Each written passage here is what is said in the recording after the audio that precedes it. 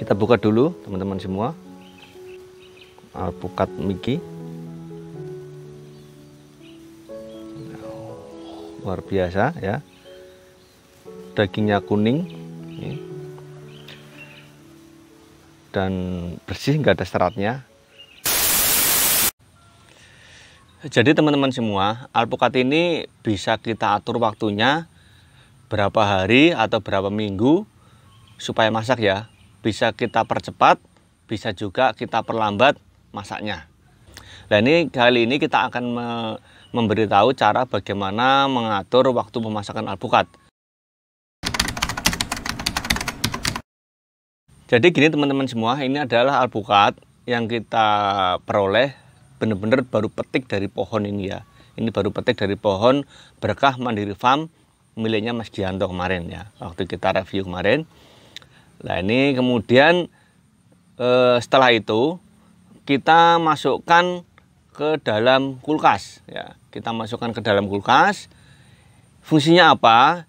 Alpukat yang yang masih keras itu yang belum matang itu kita masukkan ke dalam kulkas adalah berfungsi untuk e, stressing ya. Untuk stressing supaya alpukat ini nanti ketika dikeluarkan dari kulkas itu akan cepat masak.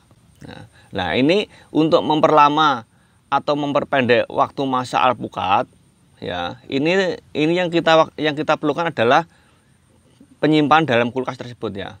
Ya jadi baru petik kita masukkan ke dalam kulkas. Kalau kita ingin cepat masak alpukat ini ya tinggal kita simpan sekitar tiga hari dalam kulkas lalu kita keluarkan. Ini dua hari langsung sudah seperti ini teman-teman semua sebaliknya kalau kita ingin memperpanjang waktu masaknya ya katakanlah kita punya stok alpukat banyak itu alpukat yang baru petik itu kita masukkan dalam kulkas sampai keinginan kita ya bisa satu minggu dua minggu tiga minggu bahkan satu bulan ya.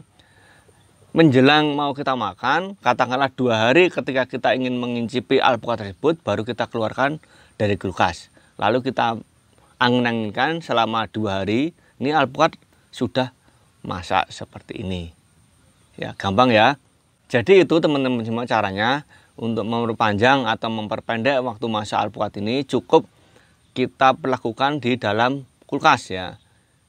Alpukat baru petik kita kulkas.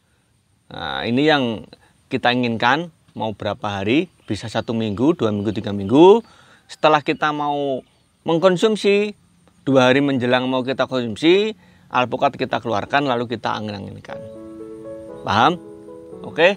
Mudah-mudahan informasi kali ini bermanfaat bagi Anda semua. Tetap semangat dalam bertani.